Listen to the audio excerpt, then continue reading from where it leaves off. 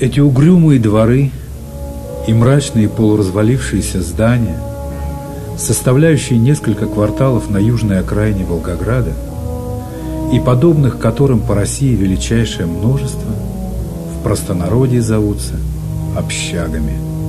Не общежитиями, а именно общагами, так как даже в фонетике, то есть звучании самого этого слова, общаги, есть нечто грязное и зловещее.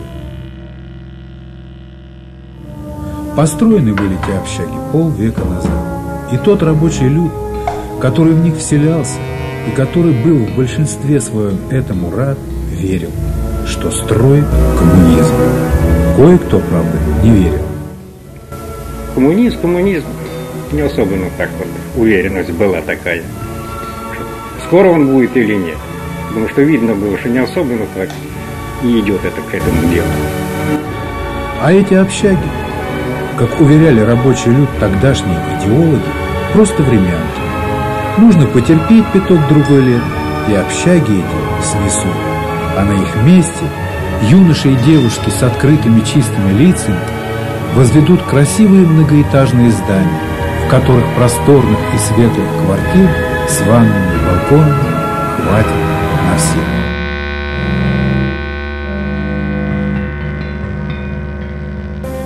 Стоит заметить, что те, кто внушал рабочему люду эти утопические надежды, уже в то время сами жили в еще больших, чем рабочий люд мог себе представить квартирах.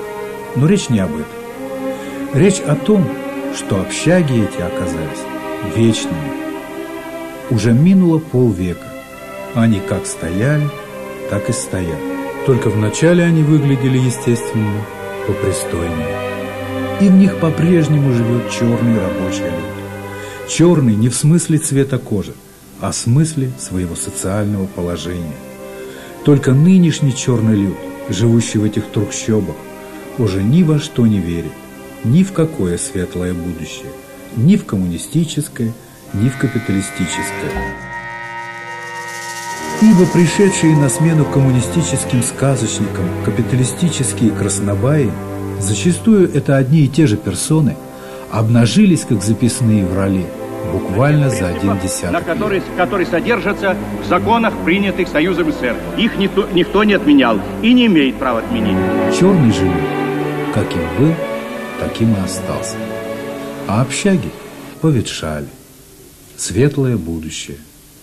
Это словосочетание для нынешних либерально-рыночных прагматиков пустой звук, а для черного люда насмешка. Хотя попробуем спросить. Ой, да что-то я сомневаюсь, что было когда-то светлое будущее. А хочет, хочется верить. Ну, может быть, существует только для тех, у кого слишком много денег. У тех, может быть, есть светлое будущее. Кто вла во власти, им это не надо.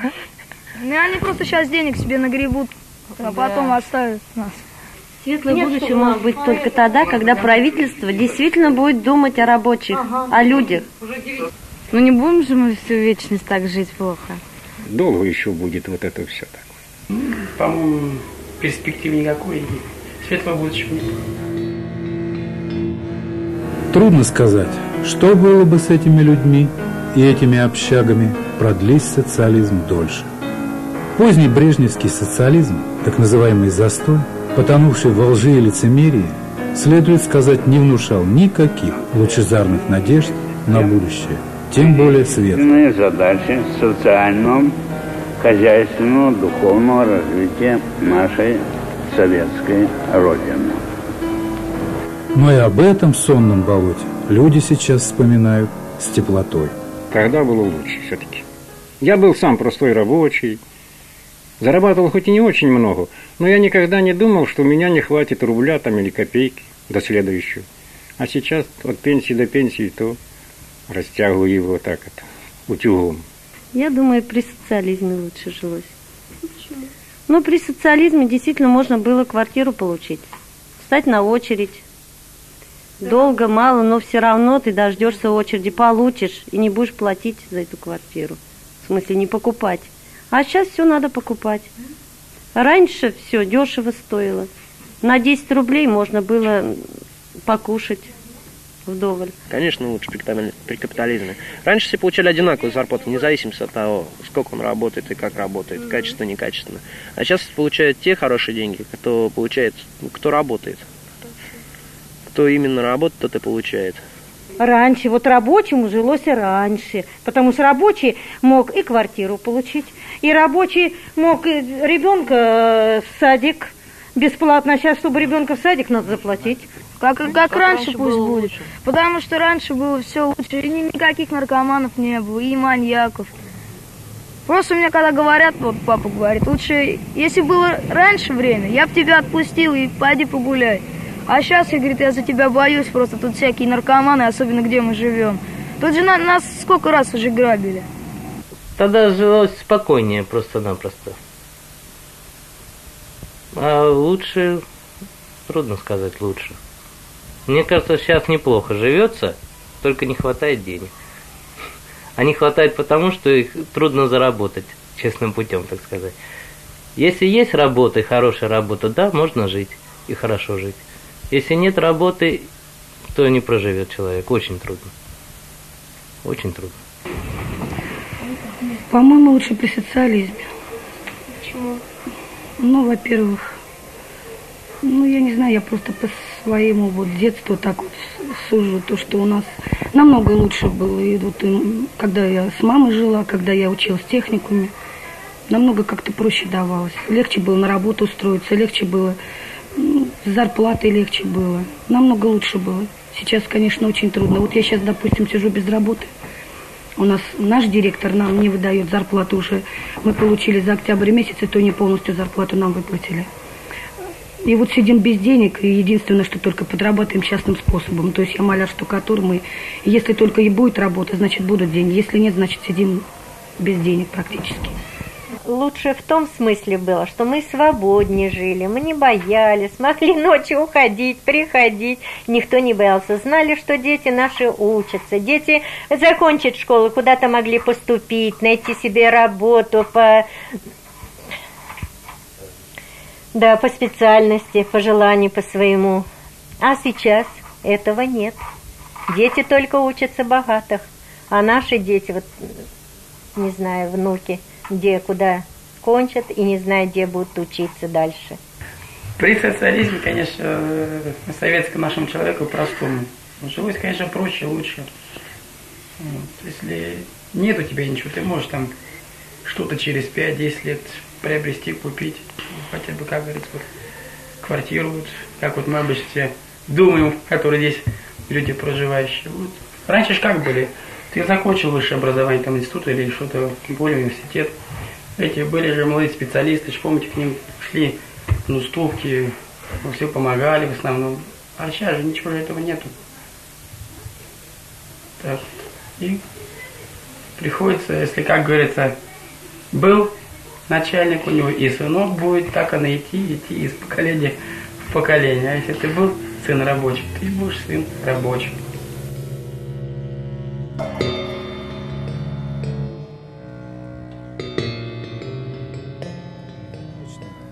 Перефразируя немецкого философа и публициста Мюллера Ванденбрука, можно резонно заметить, что каждый человек имеет в виду свой собственный социализм. Но все же, вполне можно сказать, что живущие в этих общагах – это просто обычные маргиналы, неудачники, не нашедшие свое место в жизни – и как бы никто и не виноват в этом, кроме них самих. Кстати, что они сами по этому поводу думают? Ну, ну мы-то в чем виноваты? Мне кажется, мы не виноваты. Это все зависит, мне кажется, от правительства, кто нами правит. Вот именно в этом причина. В этом устройство общества, и вот эти порядки, и вот это вот все структура власти вот такая вот. Я думаю, что только так. Почему я виноват? Я работал честно, трудился. 15 лет, как говорит, строил коммунизм, но я ее не видел. А потом 25 лет прослужил в армии. Вот и все. Заработал пенсию, то, что я в сапогах проходил. А что 15 лет строил, мне ни копейки за это ничего не дали. Вот и все. это разве справедливо? Я же не работал за границей где-то там, для кого-то что-то строю, для России же я строил. Вот ТЭЦ взять построить, нефтезавод я строил. Мы виноваты только в том, что мы денег не имеем. В чем я виноват, что я тут оказался? Такие, да. Здесь это было как временное жилье. И вот эта временность затянулась на 10 лет. И не видно конца. Вот раньше-то я могла встать на очередь на квартиру и получить ее. А сейчас, куда я буду становиться на очередь? Я получу ее квартиру. Чтобы я ее получила, я должна заплатить за нее. Значит, это общество виновато, а не мы сами виноваты. Никто в этом не виноват. Просто дома старые, в принципе, последствия, может быть, их поменяют здесь, разрушат половину из них. Скорее, но это будет не скоро. Очень не скоро. Разве правительство, например, знает, что люди вот так живут? Знает, конечно, но мне кажется, это зависит от областных властей, от районных. Зависит. Ничего ни от кого здесь не зависит. Здесь каждый да, сам за кто себя. Тут, кто тут что сделать может? Да, каждый сам за себя здесь. У нас общество такое неправильно, немножко несправедливое. Я когда сюда въезжал, вот, я сюда въезжал типа временно. Ну, годика на три, на, на четыре, вот так вот. Все-таки перспектива была у меня. А потом, как говорится, рухнуло, и все. Раньше можно было жить, а сейчас только существовать.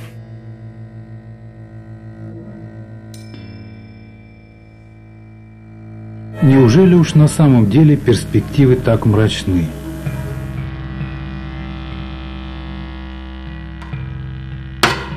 Вот идеологи нынешней либерально-рыночной экономики утверждают, что если активно работать, проявлять инициативу, творческую сметку, то непременно вы найдете свой шанс.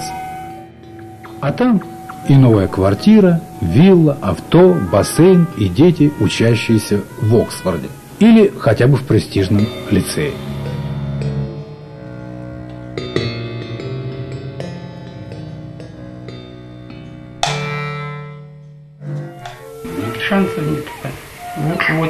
Здесь, вот в наших этих, как я их называю, китайские кварталы, перспективы нет. Практически мне такое шикарное будущее не светит. Нет, конечно. Реального шанса нет. Это только надо или заниматься... Нет, нет, нет. Воровством. Надо воровать. Почему воровством, воровством? От человека, ну, процентов 30. Да, если он желает, этого очень желает, покрутиться. Можно покрутиться, можно... Это очень большая затрата энергии, сил и времени. Если человек работает, как я, допустим, работаю, у меня времени практически не остается на кручение какое-то. Поэтому, как сказать, если хочется проявить инициативу, там, стать бизнесменом, но от хочется не меняется ничего. Как я могу разбогатеть, когда я работаю дворником, 600 рублей получаю? А чтобы квартиру получить, ее надо купить. А у меня таких денег нету, чтобы купить, если я одна в семье работаю. На 600 рублей продержать такую семью, да еще купить квартиру. Тут на хлеб не хватает. У всех это есть шанс, но каждый его применяет по-разному. Кто-то идет воровать, кто-то зарабатывает своим трудом, своим умом эти деньги. У каждого по-разному. Конечно, есть. Я надеюсь на это. Я оптимист. Если дома не сидеть, естественно, я пойду работать, у меня вот уже шанс появляется. Мне кажется, нету шансов. Если мы найдем много денег, допустим, даже чемодан целыми, Да. набитый деньгами, Да и если ты чемодан найдешь, то к тебе Да. придут, скажут, это мой, или давай налоги половину отсунуть, все равно надо придраться куда-нибудь. А мы ничего не сделаем, мы хоть- ничего не сделаем Хоть сколько, но заберут. Мы забытый край, забытый Богом, как можно считать. А помогать ты должен только сам себе, потому что кроме тебя никто тебе не поможет, никто о тебе не подумает. Ты должен сам все делать. Вот так думают обычные россияне, погруженные в мистерию нищеты. В этом коридоре шесть маленьких комнат. В этих комнатах живет 19 человек. Одна на всех кухня, кладовая и так далее. Вы все видите. И этот коридор, так скажем, нормальный, как говорят сами его обитатели. Нормальность, конечно, весьма относительная. Но когда увидишь другие, непонятно как даже это назвать, обиталища, желухи, дыры, щели, в общем, непонятно, тогда начинаешь понимать, что значит нормальный коридор. И думается, что персонажи, которых мы видим по первым двум центральным телеканалам, и которые вроде бы являются нашими думцами и членами разнообразных партий, хотя вполне возможно, что это виртуальные фантомы, очень даже хорошо знают, что значительная часть российского народа именно так и живет, в то время, когда они мучительно размышляют, где бы им провести очередной отпуск, на Гавайях или на Багамах.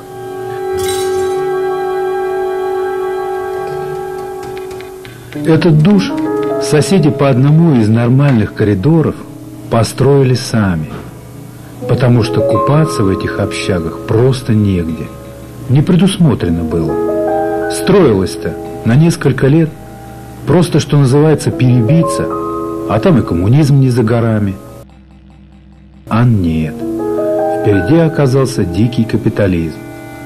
Что думают, какие чувства испытывают мужчины, женщины и дети этих коридоров, щелей и дыр, когда видят катающуюся на лыжах в высокогорной Швейцарии тощую Хакамаду или розовощекого Зюганова, бодро играющего в снежки с соратниками по партии около подмосковного санатория, или иных представителей народа в высших государственных сферах.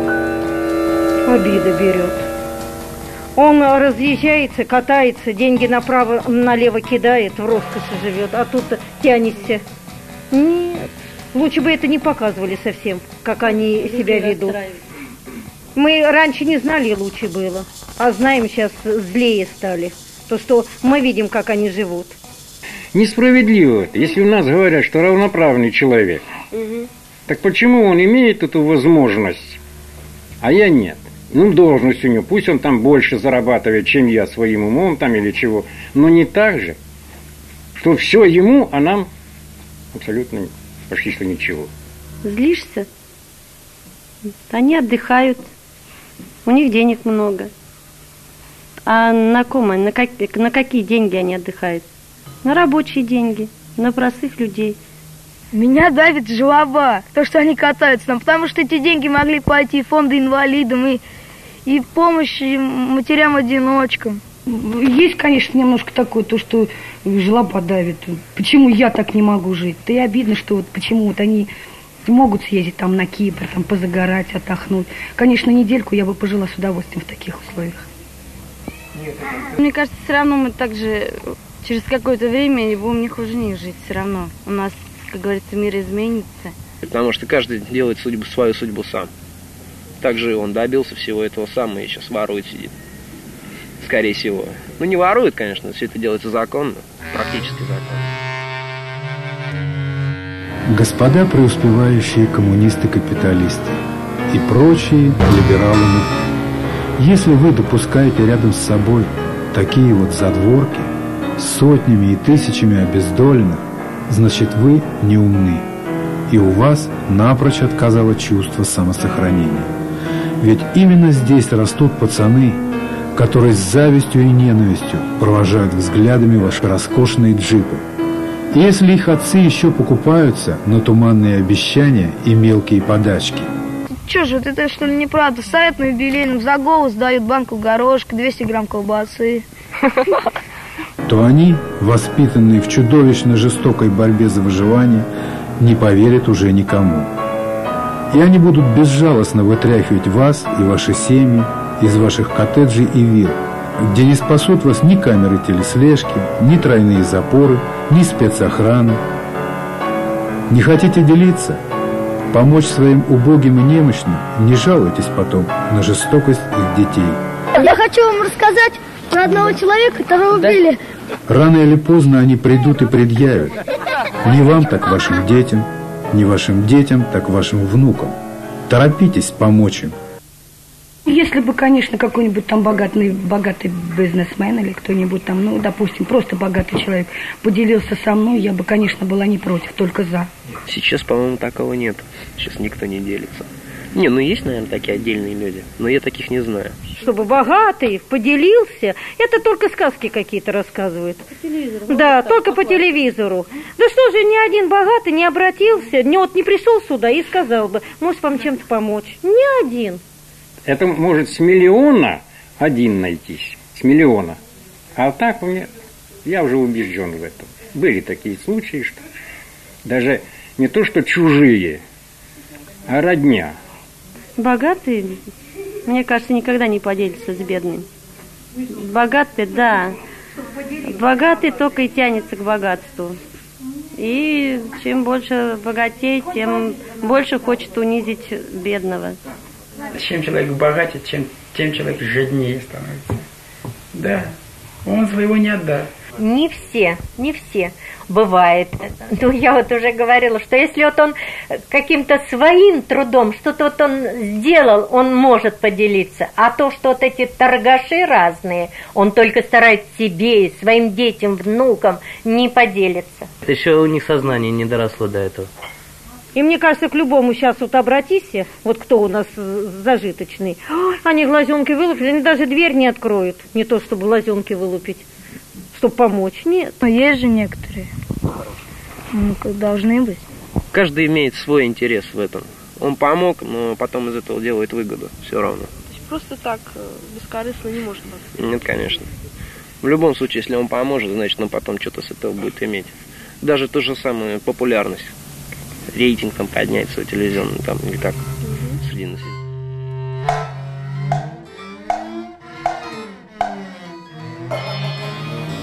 Понятно. Из всего увиденного и услышанного можно сделать самые разные выводы. Очевидно же только одно. Человек, каким бы нерадивым и неудачливым он не был, а тем более ребенок, а детей среди и внутри этих разрушающихся зданий немало, не должен жить в такой инфернальной, а по-русски говоря, адской нищете.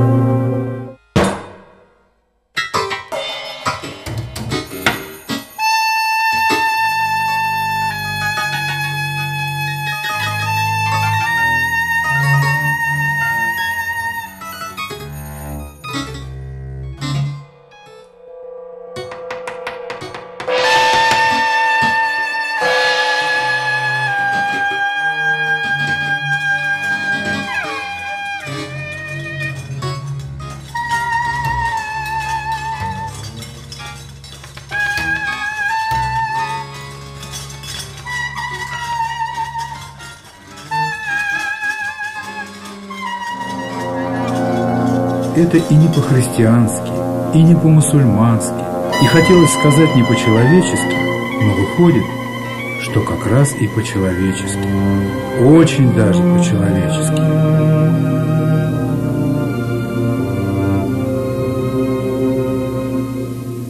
И возвращаясь к уже вышесказанному, это попросту и опасно. Антисанитария здесь ниже всех допустимых уровней очаги эпидемий у нас под носом. При этом непостижимо ужасно еще и то, что некоторые из обитателей этой клаки отказывались говорить в камеру, боясь, что их из нее могут выселить. Живем в России, там, и тут много наций живет, я сам и русский, татарин, вот, и мы привыкли теперь, может быть, переменится, может быть, к лучшему все. Знаете, вот президент нам такого хорошего, справедливого. Украл, наказать, украл, наказать. Вот. Ну, конечно, не так он, как раньше, такой, там, за ползернышко, там, сажал, там, выселял людей. Это, конечно, не надо. Ну, таких более крутых, которые все, как говорится, тащат, тащат, им все мало, мало, сыну, брату, там, детям по построили, все равно тащат, тащат. Правильное законодательство должно быть. У нас все должно по людским законам делаться. И тогда все будет нормально. Надо что-нибудь сделать, надо как-нибудь попробовать изменить. Потому что так больше жить нельзя. Ну, жить, работать. Работать, добиваться успеха. И так далее, учиться. Конечно, мирным путем. Все это делается мирно, постепенно. Сразу ничего не бывает. Как говорит, Москва не сразу строилась. Как обычно бывает, можно было бы воззвать городскому, областному, районному и прочему более мелкому начальству, мол, обратите внимание и прочее. Но есть ощущение и даже понимание того, что это бессмысленно. Ибо причина тут не в плохом или хорошем начальстве. Принципиально проблема эта выходит за рамки и социального, и политического, и в большей степени указывает на духовно-нравственное состояние нашего общества. Если бы само это общество, вся эта гигантская масса директоров заводов, бизнесменов, торговцев, учителей, врачей, рабочих и так далее, не хотела бы искренне, а не только на словах, чтобы на виду у всех можно было бы как собаку выбросить подыхать на помойку, пусть даже самого последнего забулдыгу, то и никакое начальство, самое что ни на есть распродажное, этого не допустило бы, побоялось и не помешало бы помочь этому забулдыге хотя бы остаток дней своих провести по-человечески. А здесь, в этих трущобах, живут и вполне нормальные, и пока здоровые люди, и дети, дети.